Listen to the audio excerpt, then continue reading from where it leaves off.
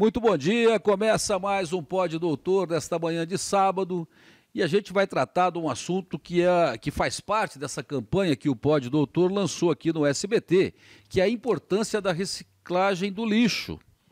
E o nosso convidado é o marmitão Márcio Elias, vereador da cidade de Badibacite. Bom dia, marmitão, tudo bem?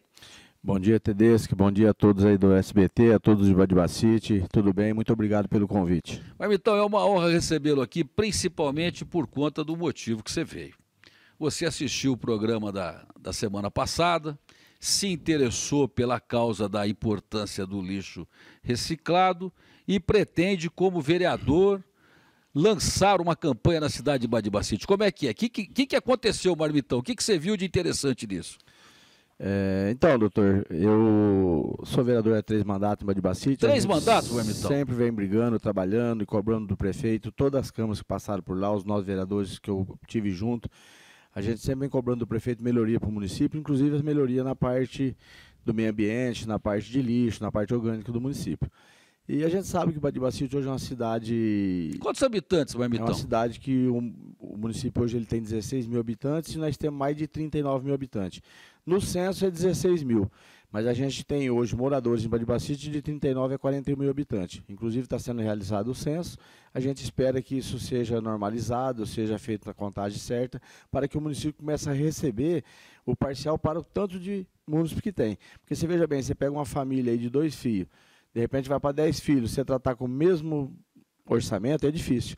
Então, uh, vem fazendo o que dá para ser feito. Eu assisti o programa no sábado e, assim, sempre tive vontade de implantar, de fazer.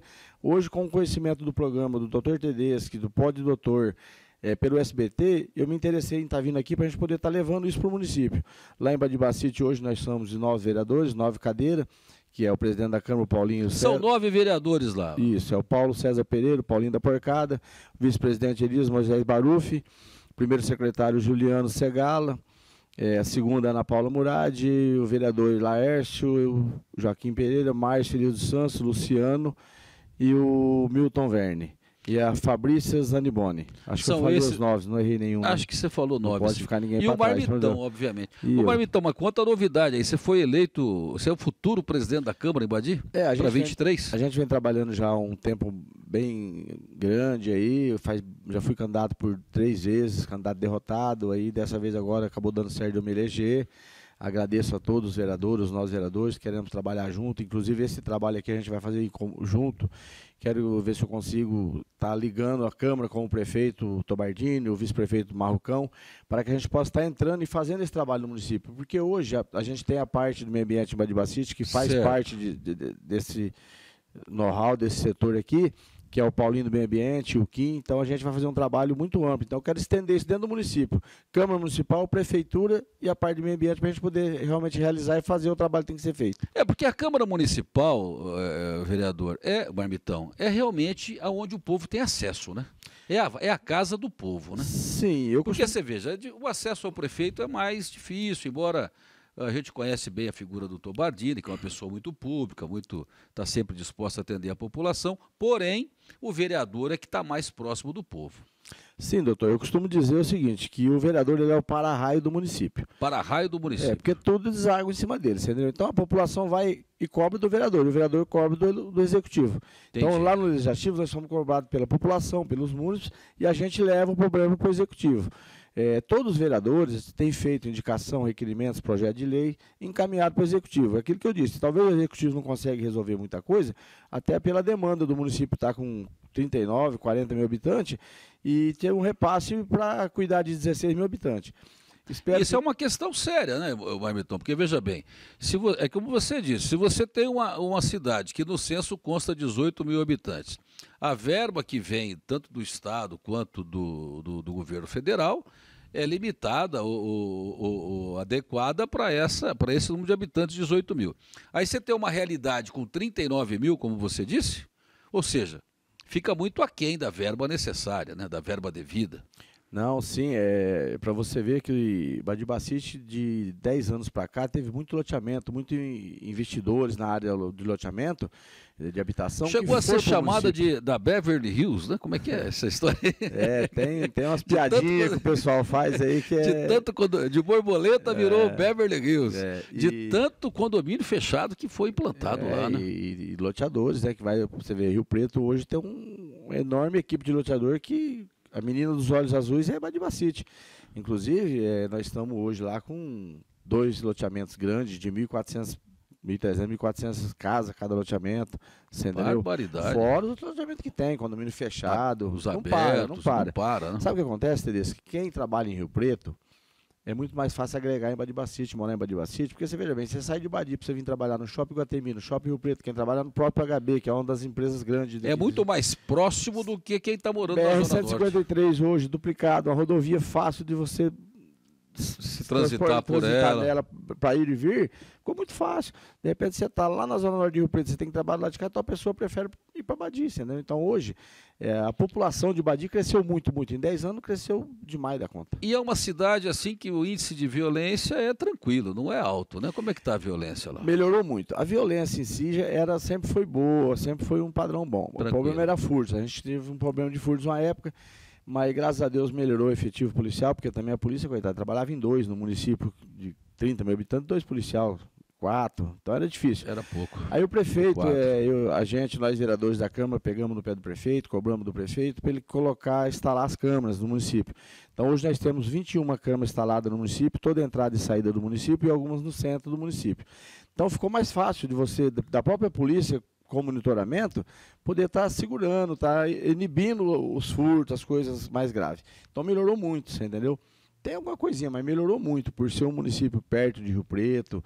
Nós estamos a 11 quilômetros de São José do Rio Preto, do é rosto de São José do né? Rio já Preto. Tá, já está encostado, né? já encostou o bairro É uma bairro, cidade né? grande, Rio Preto é grande, muito grande. Então, é, melhorou muito. Hoje a gente tem um trabalho muito bom. É, cada prefeito que passou fez sua parte, fez o que pôde.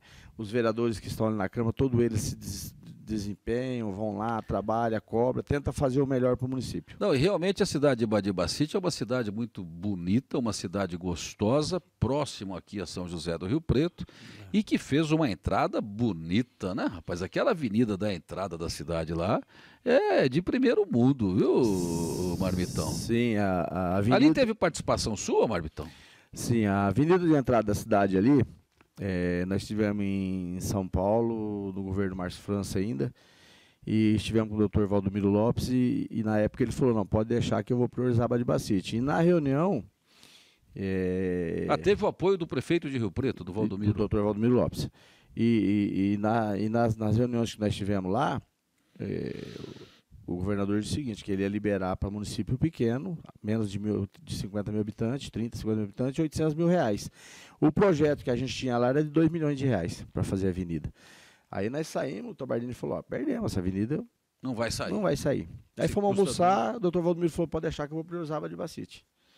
Aí a gente foi almoçar, almoçamos e viemos embora. Daí uns, umas duas semanas ligou para a gente. Aí fomos lá de novo. Aí o governador liberou os 2 milhões de reais para fazer a avenida. E essa, e, essa, e essa avenida da entrada que eu destaquei aí foi do governo do Tobardini, prefeito Tobardini? Já vem do Dimur, né? Vem da época do Dimur, aí passou para o governo Tobardini, 2016. Ah, sim. O término foi é, com o Tobardini. Começou em 2016 e passou para o Tobardini em 2017, que foi onde liberou a verba. Ah, Entendeu? sim. O projeto era mais antigo. E saiu Dória, ganhou a eleição, né? O governador Dória ganhou a eleição. Ajudou também. Aí ele continuou a obra, né? Porque na verdade foi no, no apagar da luz do governo França que aconteceu a, a liberação a, da verba, liberação. entendeu? E, portanto, por isso que até que o doutor Valdomiro em Badibacite tem seus votos, é bem votado. Você vê, ele ele é set... é muito querido lá, Teve né? 754 votos na eleição passada. Bacana. É uma pessoa muito, entendeu? Para nós ele foi muito bom. E tantos outros, outros deputados. Que a gente bom, não vai ficar falando de deputado sim, aqui. Sim, claro. Agora, você que já falou um pouquinho de Badibacite, quem não conhece a cidade de Badibacite, está convidado a conhecer, né, Marmitão? Tá, olha, gente, é, doutor Tedesco está aqui, é o Pod Doutor, né, que inaugurou no SBT. É, quem de Badibacite quiser estar tá fazendo um trabalho junto com o município, pode me procurar, ou procurar até o doutor Tedeschi. Eu acho que o espaço está aberto, está livre, porque se o pessoal começar a passar para a gente, nós já temos, doutor, pessoas, é bem, bem pouco, hum. mas nós já temos pessoas no município que trabalham com essa parte de reciclagem. Tem, né? Ele faz. É que é isso que eu queria entendeu? falar. Só que é para ele, ele faz fechado, na casa dele para ele, não abrangiu o município. Entendeu? Então é muito pouco. Isso aí tem que, tem Tem que que fazer ser- o que trabalho em geral. E O- de repente esse trabalho que a gente vai fazer junto com você, trazendo o executivo, o Luiz Tobardini, o vice-prefeito, a Câmara toda, a gente consegue implantar dentro do município um trabalho para que possa ser feito essa parte de, de, Daqui da coleta da seletiva. coleta seletiva. Porque, o Marmitão, o que a gente detectou assim de grande problema é o quê? É que você, o cidadão de bem, porque veja bem, as pessoas querem o bem do meio ambiente, né? Vamos falar dessa questão do lixo, que é o que trouxe você aqui por se interessar. O que a gente detectou, Marmitão, de problema nas cidades, aqui em São José do Rio Preto acontece isso, que é exatamente a falta da coleta seletiva. E quem planta a coleta não dá para ficar à mercê só desse catador, dessa pessoa que vai lá fazer esse trabalho. Quem tem que implantar essa coleta é o município. E é isso daí a importância da questão que a gente está chamando. Por exemplo, o, o morador lá, ele separa no, no saquinho azul o lixo reciclável e esse aqui no lixo orgânico. Sim. Aí põe na rua, mistura no caminhão, o que, que vai acontecer? Vai contaminar o Vai reciclável. A mesma coisa que era em casa. Ou seja, você faz papel de bobo. Não é verdade? É então, essa é importância que a gente está destacando, Marmitão. E aí o que acontece? Vai da forma com que o prefeito faz a contratação da coleta. Entendeu? Porque se paga por tonelada. Quem faz a coleta lá em Badibacite, Marmitão? É a Construeste. É a mesma empresa que faz aqui em Rio Preto. E eu não sei qual é o destino lá, se vai pro, tudo para aterro sanitário, como é que é feito. Como é que é lá? Você sabe dizer? É, ele vem para Rio Preto, né? Vem para cá e daqui acho que eles mandam para Ribeirão Preto. Eles têm o aterro sanitário deles. Tem o Vai pro aterro sanitário, né? Agora eu não sei se eles fazem a parte de reciclagem ali no aterro sanitário. Aí Como é feito lá. eles têm um trabalho Mas lá. a, a informação que a gente tem é que é feito, porém, só se aproveita um percentual de 20% a 30%, Entendeu. porque quando mistura no caminhão, apesar de estar no saquinho, misturou no caminhão, está contaminado. Entendeu? Mas então, a gente vai para um breve intervalo. Você que está em casa, a gente volta num minuto só.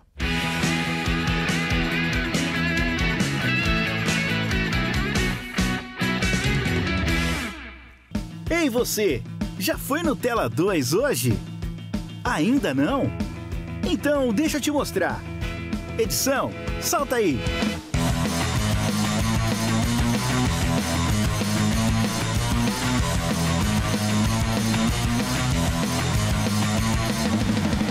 Pra quem curte curiosidades e entretenimento, tem o Top 5. E colocou ele no devido lugar. Quer música?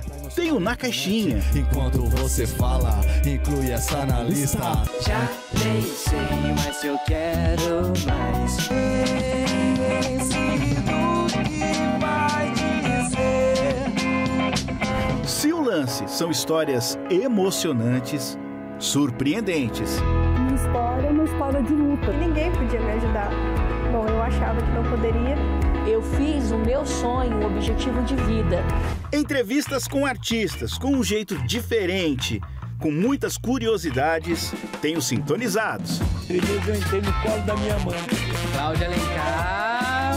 Você está preparado para tudo. Se o papo agora é moda e comportamento, ah, tem o É Tendência.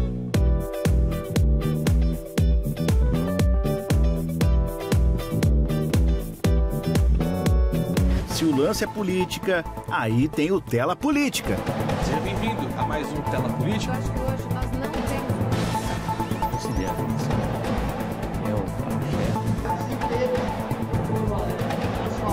Agora, o assunto é cinema. Sim, nós temos conteúdo para você. Lente 100 milímetros. Foi tão coreografado quanto deveria em já ação convencional. Esquece o crepúsculo, bicho. Faz 15 anos. Um bate-papo diferente e atual. Bora para um café com selinho com o Marcelo Camargo?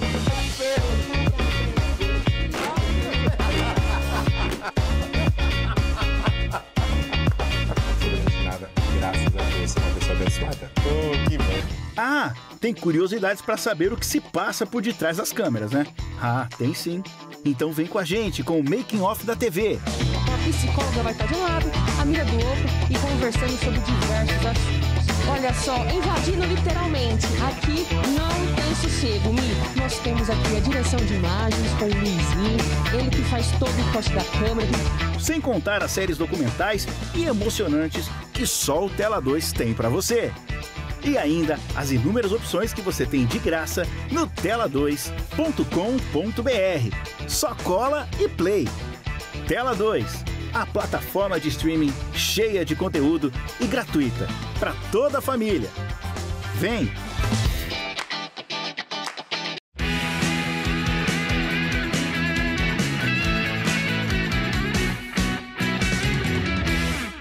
Estamos de volta com o Pódio Doutor e nesta manhã eu recebo o Marmitão, vereador de Badibacite, a primeira cidade que se manifesta nessa campanha do Pódio Doutor da reciclagem do lixo, do lixo, na importância de se separar o lixo em casa e de não deixar misturar, implantando, quem sabe, a coleta seletiva. Marmitão, fiquei muito feliz de saber que você está interessado. Parabéns, porque você é o novo presidente da Câmara Municipal a partir de 2023.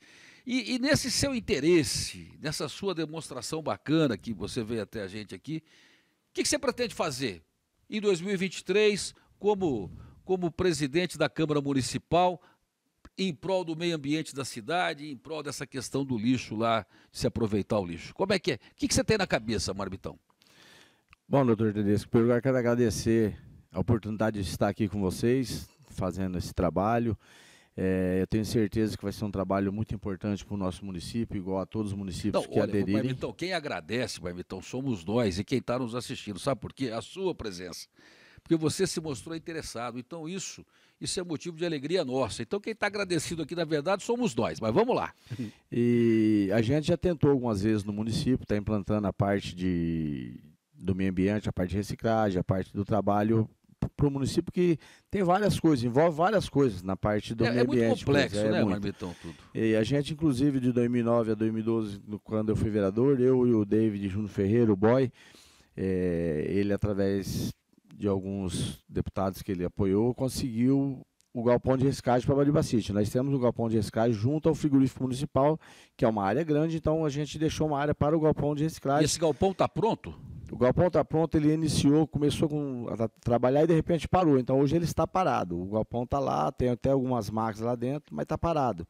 Está desativado, na verdade, você entendeu? Então um dos trabalhos que eu quero fazer, é, conhecendo esse trabalho de vocês, assistindo o programa de vocês no sábado, me interessei muito, vi que tem como fazer, tem condições de fazer. Então eu quero estar junto com o Legislativo e o Executivo, para a gente poder estar tá fazendo o trabalho de captação desse lixo orgânico, voltar a funcionar o galpão do município para que a coisa possa até, vai até gerar uma renda para a área social do município. Porque a partir do momento é que você recicla e você vende o é produto, isso. você vai captar valores, recursos para que você possa investir na área social do município. Então, a partir do ano que vem, eu quero fazer esse trabalho, vou cobrar do prefeito, pegar no pé do executivo, do vice-prefeito, e os nove vereadores vai estar junto para a gente poder estar fazendo isso aí, essas tratativas. Ô, Marmitão, tendo o galpão já é um grande passo dado, né? Já está pronto o galpão, só falta o quê? Coletar certo. Sim, não deixar misturar no caminhão. Sim, que a minha briga é essa. Eu brigo com isso. Não pode misturar no caminhão. Por exemplo, uma cidade como São José do Rio Preto, uma cidade como Araçatuba, Presidente Prudente, o cidadão separa o lixo, rapaz, ou Badibacite, e aí mistura no caminhão para contaminar de novo. Então, o que, que depende? Depende de se implantar a coleta seletiva, né, Marmitão? Quantos caminhões fazem a coleta do lixo hoje lá em Badibacite? Olha, hoje eu acredito que a Consuleste trabalha com quatro caminhões dia, enche um, troca, é, é para fazer a coleta Quer dizer, do quatro lixo. caminhões. Eu acredito. Sabia que São José do Rio Preto são apenas... Eu achei pouco o número. Quem achar que é mais, uma cidade de 500 mil habitantes, 21 caminhões para é coletar o lixo. Mas é que São José do Rio Preto eles trabalham 24 horas, né? de, urno e noturno, né? Sim, mas são 21 caminhões. É, Agora eu fico imaginando, se 21 caminhões coletam a cidade inteira diariamente, é. quantos caminhões seriam necessários aqui em São José do Rio Preto para uma coleta seletiva semanal por Com bairro, certeza. marcado a data certa? Com certeza. Talvez, talvez dois, três caminhões.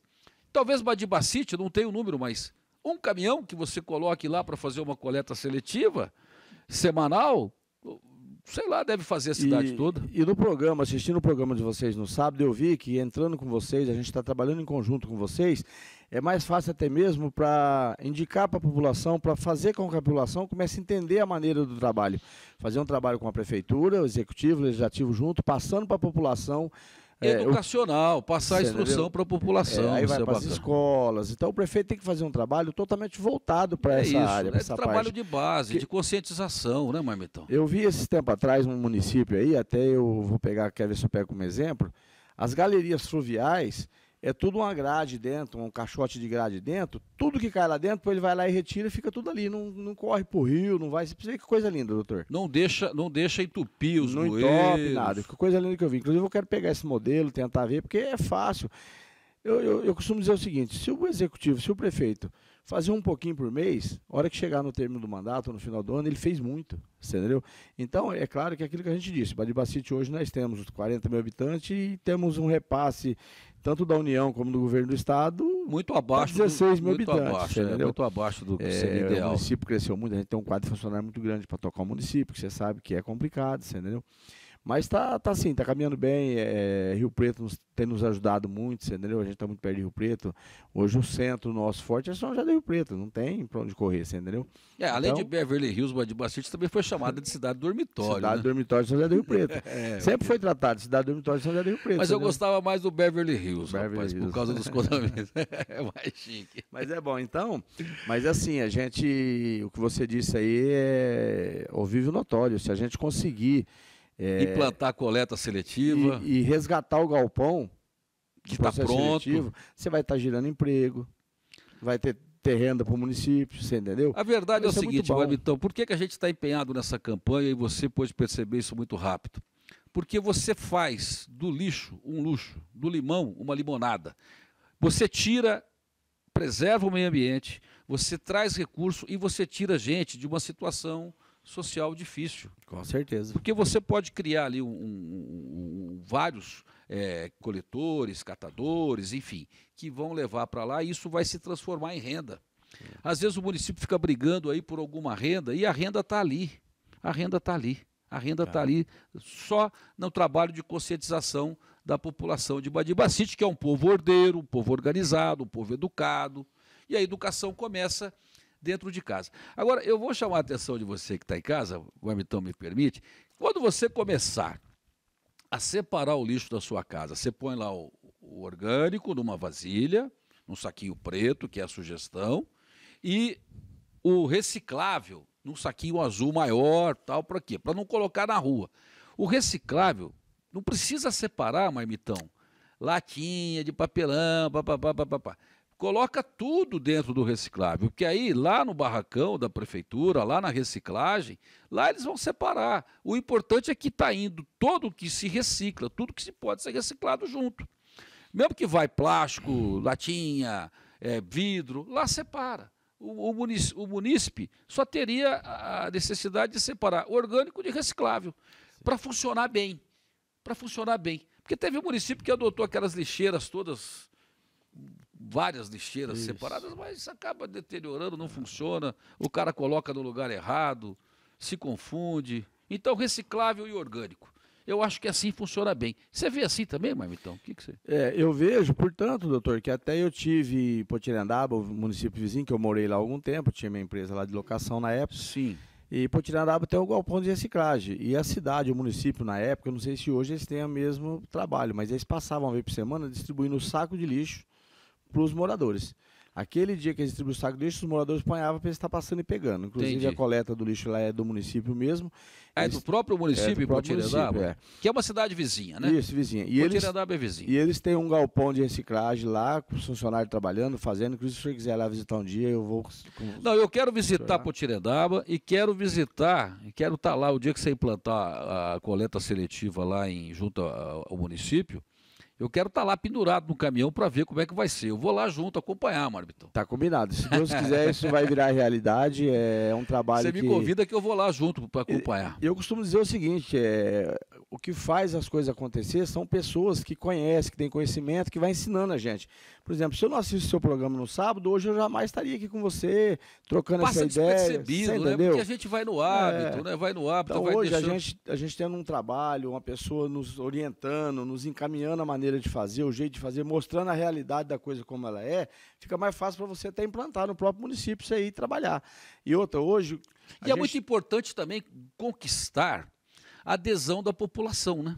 Porque quando a população começa a se interessar por isso, facilita o trabalho seu, Sim, facilita é... o trabalho do governante. Porque a, ver. a própria população começa a incentivar que isso aconteça. É, até mesmo vocês são um meio de comunicação, um meio de passar A para gente tenta população levar a maneira isso. de trabalhar, de fazer. Então, junto com o executivo, com o prefeito, com os vereadores, com o próprio município, os próprios moradores do município, a própria o SBT, o, o Pod Doutor vai estar implantando o trabalho de, de, de ensinar o pessoal, de mostrar como é que faz, de mostrar a melhoria, por que está sendo melhor. E a isso. gente se compromete aqui, Marmitão, a, a fazer isso e se compromete a trazer as novidades conforme a coisa for desenvolvendo, a coisa for desencadeando positivamente.